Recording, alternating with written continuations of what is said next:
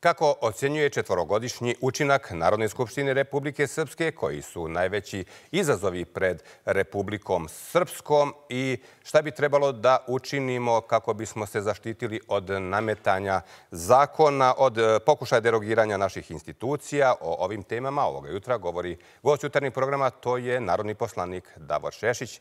Gospodine Šešiću, dobro jutro i dobrodošli u jutarnji program Televizije Republike Srpske. Dobro jutro vama i našim gledalcima. Evo, raspisani su oktobarski izbori. Pravo je vrijeme da sumiramo učinak vas i vaših kolega poslanika u četvorogodišnjem mandatu. Koji su vaši utisci i najznačajniji zaključci, ako biste sumirali u nekoliko rečenica? Što se tiče rada Narodne skupštine, to je sigurno kontinuitet. Dakle, e, četiri godine prihodnije smo radili bez e, prestanka, bez zastoja, kada je bila i e, pandemija za razliku od druga dva parlamenta u Bosni i Hercegovini, parlamenta Bosni i Hercegovine i Federacije Bosni i Hercegovini, tako da mislim da na taj, ako pogledamo taj kontinuitet, možemo biti zadovoljni, jer se moglo pričati o skoro svim temama koje su bile potrebne da se kroz zakonska rešenja u okvire i da se unapredi. I ono što je jako bitno u direktnom prenosu na kanalu Plus eh, radio televizije Republike Srpske, dakle da javnost bila potpuna, što je jako bitno u vezi sa radom poslanika. Eh, rekordno velik broj posebnih sjednica Narodne skupštine Republike Srpske, to govori o vašem angažmanu, posvećenosti, ali i vanrednoj situaciji, ono što ne bismo željeli da se ponavlja u ovolikoj mjeri. Kako vi gledate na taj broj eh, vanrednih sjednica?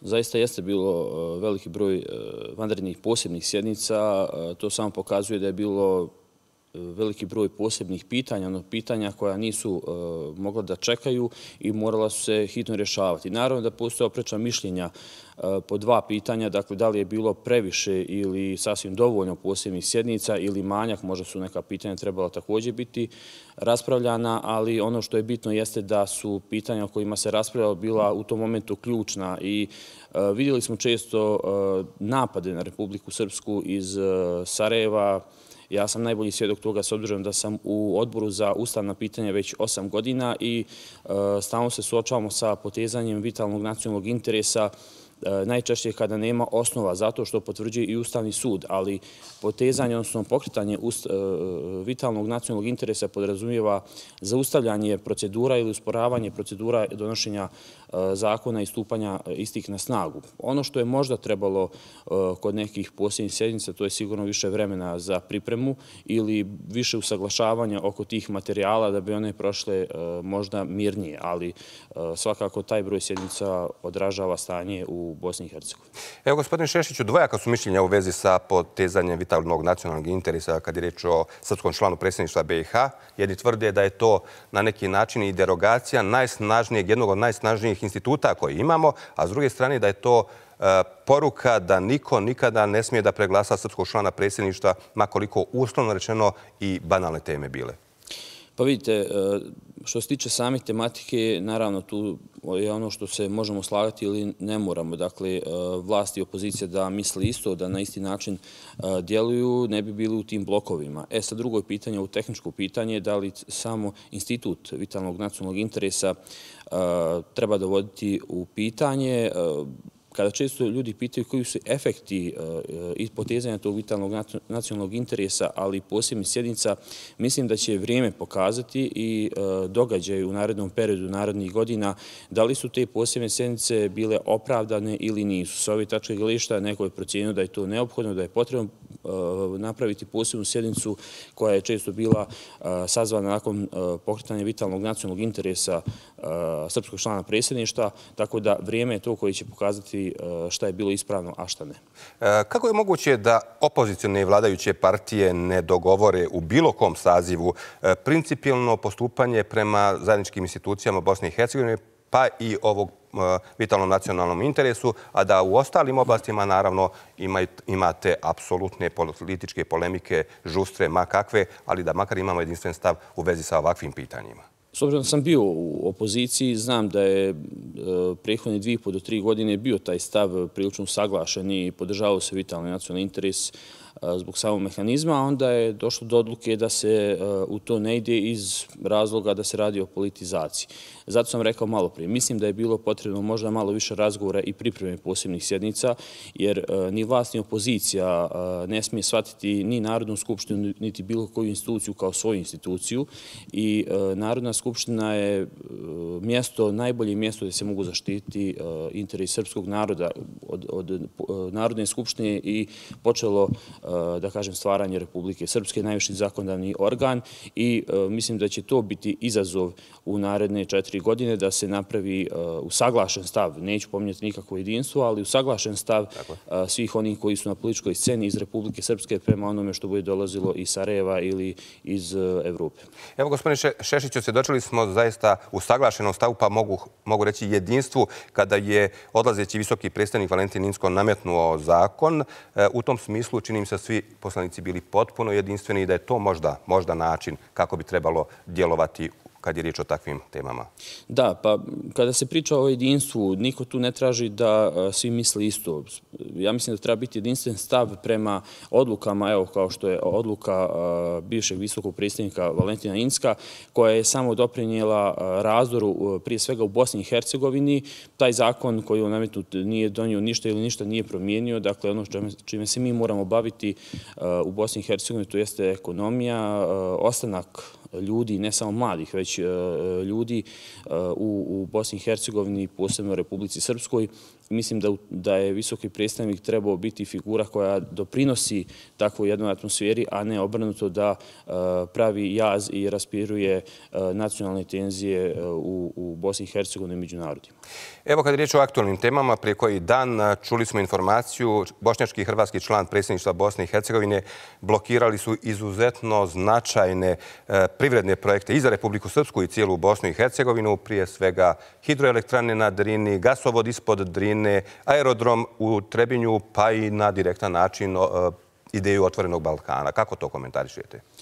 Pa možemo posmatrati kroz e, izbore, predzbornu kampanju, jer je cilj vratno i predstavnicima Hrvata i Bošnjaka da pokupe određene političke pojenje u ovoj predzbornoj kampanji, ali ono što tu zaista nije jasno da se takvi e, projekti, posebno e, hidroelektrane, u ovom periodu nedostataka ili nedovoljno energenata i električne energije stopiraju. Ne bih volio da je razlog i da pomislim ili da naši građani pomisle da je to zato što su ti projekti došli direktno iz Republike Srbije, odnosno što su finansirani ili bi trebali biti finansirani iz Republike Srbije, jer bi to pokazalo zaista da Bosna i Hercegovina ne poštuje i svoj ustav, to je konstitutivno sva tri naroda, jer mi smo braća, to isti narodi iz Srbije i ako oni imaju potrebu da pomognu ne samo nama, već cijeloj Bosni i Hercegovini, mislim da bi ostala dva naroda to trebalo i tako da prihvati, jer se radi zaista o krupnim projektima koji će koristiti na kraju i federaciji. E, čuli smo nagovešta odgovora iz Republike Srpske. Srpski član predsjedništva Bosne i Hercegovine Milorad Dodik rekao je da će u budući Republika Srpska na neki način blokirati investicione programe u federaciji dok ne budu odblokirani ovi programi. Kako vidite rješenje ovog problema jer ovo zaista nikome ne koristi ako ovako nastavimo?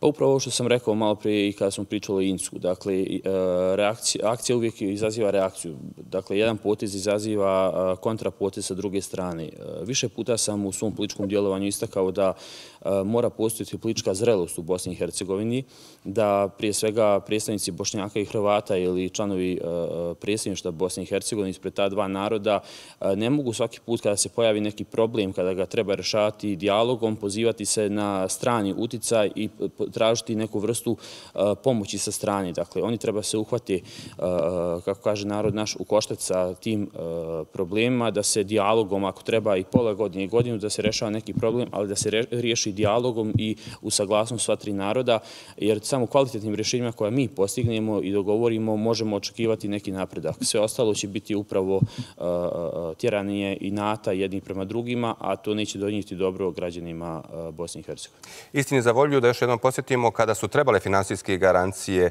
Univerzitetskom kliničkom centru u Tuzli i Republika Srpska je bezuslovno dala te garancije, što je za svaku pohvalu. Nažalost, kasnije E, partneri iz federacije nisu uzvratili na taj način. Prema tome... Pa evo, to je samo najbolji pokazatelj da e, mi nismo kao narod, e, narod koji nanosi štetu drugima ili želi nešto loše drugima. Dakle, ono što je od, evo, u ovom slučaju životne važnosti, da postoji taj klinički centar u kojem na kraju krajeva se često, vjerovatno, sticajem okolnosti liječe i građani Republike Srpske. Dakle, on je neophodan i bilo i to je za pohvalu. Dakle, ja mislim da tu ništa nije napravljeno pogrešno što je podržan taj projekat, bez obzira na njihove poteze koje oni sada povlače. Evo, malo čas e, je gostovao i načelnik opštine Sokolac, gospodin Milovan Bjelica. Još jednom je naglasio koliko je potreban taj autoput ili moderna saobraćanica preko naše Romanije. Nažalost, i dalje čekamo partnere iz federacije. Mi smo usaglasili svoje uslove, tražimo da što prije bude definisana i trasa kroz federaciju. U tom smislu, kako komentarišete i tu vrstu odnosa u BiH? Pa samo je za očekivati da će se nakon predzborne e, kampanje i nakon izbora konstituisanja vlasti i u Republici Srpskoj i u Federaciji na nivou Bosne i Hercegovine strasti smiriti da će ipak taj politički interes e, partija iz Federacije ostati u drugom planu, da će se e, morati sjesti za sto i razgovarati, jer vidjeli smo da kada je u pitanju kada je u pitanju e, čovjek koji je zamijenio e, Valentina Inska, e, gospodin Šmit, da su se pozivali na njega, onda kada je donio neke odluke koje ne odgovaraju, recimo konkretno bošnjačkim liderima, onda su se čak i protestovali organizovali protiv njega i tražili da odi. Dakle, sami sebi sužavaju prostor za djelovanje. Jedini način da se izvuku iz toga jeste da sjednu za pregovarački sto i da na taj način rešavaju probleme. Pa nije li možda taj Šmitov potez, odnosno neka vrsta neblagonaklonosti i prema njemu možda nam daje dodatnu mogućnost da ipak sjednemo, dogovorimo i usaglasimo kako bi trebalo da funkcioniše na bazi tri ravnopravna naroda i dva entiteta.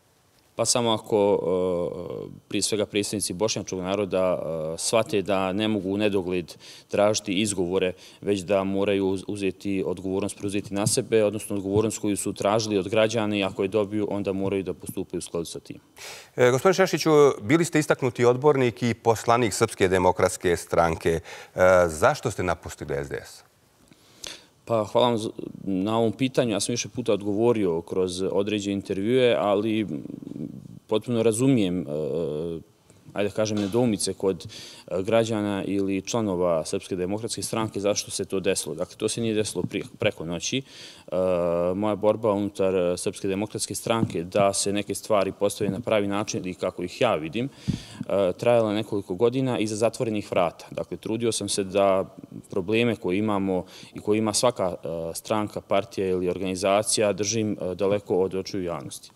Međutim, e, kada je bilo već e, jasno i izvjesno da se ne može djelovati, ja sam e, u prošloj godini koja je bila neizborna godina izašao sa intervjuom i rekao nekoliko stvari koje su bile samo činjenice. Kada sam vidio da više nema, mislim, kada ne postoji mogućnost za razgovor, dialog, da se postoji neki dogovor, smatrao sam da je najbolje da se na neki način u miru raziđemo, jer svaka svađa bi nanosila štetu i Srpskoj demokratskoj stranci, ali i meni kao pojedincu. E, naglasit ću da sam odlučio ipak da ostanem do, praktično do kraja mandata u e, SDS-u. Izašao sam u aprilu, e, jer je već u aprilu počela se priča o novim listama, izbornim listama i smatrao sam da ako se ne slažem sa djelovanjem e, rukovodstva Srpske demokratske stranke, da najbolje da e, napustim tu organizaciju. E, napomenut vas da su moji razlozi, i glavni razlozi napuštanja bili odnos rukovodstva e, SDS-a prema Banja Luci i Krajini i to nije moj e, samo subjektivni e, utisak ili mišljenje, već rezultati izbora pokazuju u ovom dijelu Republike Srpske kako nažalost stoji Srpska demokratska stranka. Sa druge strane reću vam i to da sam ja isključen iz e, glavnog odbora i to dan pred glavni odbor. Dakle, ja sam pozivan na dialog i razgovor, ali sam prije toga pred e, glavni odbor isključen dan ranije i na taj način direktno onemogućen da dođem da eventualno nešto kažem na e, na glavnom odboru biram riječi jer e, imam zaista velikih broj e, prijatelja u Srpskoj demokratskoj stranci. Proveo sam tamo 18 godina i uvijek kada govorim o toj temi govorim pažljivo jer ne želim nikoga da povrijedim. Javno ste saopštili da ste novi član socijalističke partije? Pa da, bilo je dugo razmišljanje da li da nastavim političku karijeru. Najozbiljniji poziv je došao iz socijalističke partije. Razgovarali smo e, dugo i na kraju sam odlučio da nastavim svoje političko djelovanje u socijalističkoj partiji gdje sam za sada lijepo primljen, imam finu komunikaciju, a vrijeme će naravno pokazati sve ostalo. Mala digresija, tačnije posjećanje za gledalce mogu da se uvjere u vezi s tim da ste se uvijek bezuslovno odazivali pozivu mom i mojih kolega, učestvovali u emisiji Televizije Republike Srpske, nastavili ste tako i nakon što ste napustili Srpsku demokratsku stranku. Ja vam u to ime zahvaljujem jer je veliko interesovanje naravno za sve što naši narodni poslanici čine u ovim, pogotovo ovim turbulentnim... Hvala, hvala i vama, evo, hvala vama što ste mi omogućili da u jutarnjem programu, kada naši građani uz kaficu gledaju jutarnji program i sumiraju možda prethodnu sedmicu, da čuju i od mene argumente, razloge odlaska iz Srpske demokratske stranke, ali stavuje po nekim drugim pitanjima koji se nisu mijenjali bez obzira što sam sada u partiji koja jeste u drugom bloku koja se zove vlast. Istini za volju, imali ste jedan uslov kada sam vas zamolio da gostujete u jutarnjem programu. Rekli ste da bude što ranije da biste stigli naravno na liturgiju i na Kočićev zbor. U tom smislu, e, kako ocjenjujete značaj Kočićevog zbora za vašu Banja Luku, za Zmijanje, Manjaču i za cijelu Republiku Srpsku? Pa mislim da je pogotovo u vremenu, evo me svemu što smo pričali, dakle, o svim tim izazovima koji nas čekaju sigurno i u narednom periodu, e, kao jedan orijentir, kao opomena e, da se moramo e, zajedno boriti protiv e, nametanja, u ovom slučaju moderno rečeno, odluka ili zakona sa strane, što je bila glavna borba e, Petra Kočića da se suprostavi e, stranom zavojevaču, kako on govorio, da se suprostavi nametnutim odlukama i da se omogući sloboda misli, sloboda govora, e, sloboda na kraju života na ovim prostorima i mislim da je to glavna suština kada kažemo Kočićev zbor, treba da na to danas posjeća Kočićev zbor. Naravno, sve ovo što ide i što je propratno uh, na Kočićevom zboru je tradicija i treba je se ovaj, držati i treba se oslanjati na tradiciju jer ona govori puno o nama. Gospodin Šešću, hvala mnogo što ste bili gost jutarnjeg programa Televizije Republike Srpske. Hvala i vama. Hvala.